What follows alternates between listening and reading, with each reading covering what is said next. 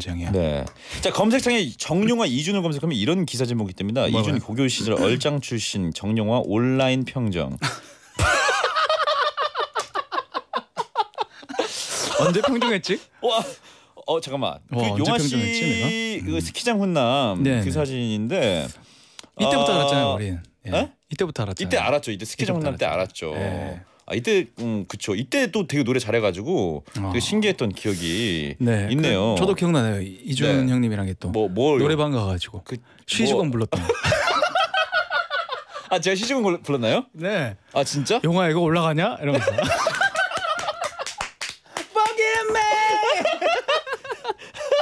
아, 아 제가 그, 그랬나요? 네. 아 제가 그 시즈곤을 안 부른 지가 꽤 되는데 그때가 마지막인 것 같네요. 네, 아직도 기억나는 게그 네. 코트를 입고 네. 그리고 그 부츠를 신고 있었어요. 아, 그랬어요? 스키니진에 아 잠깐만. 아 제가 그때 시즈곤 올라갔나요? 제가 그때? 올라갔어요. 아 그쵸. 네, 올라갔어요. 어 감사합니다. 네.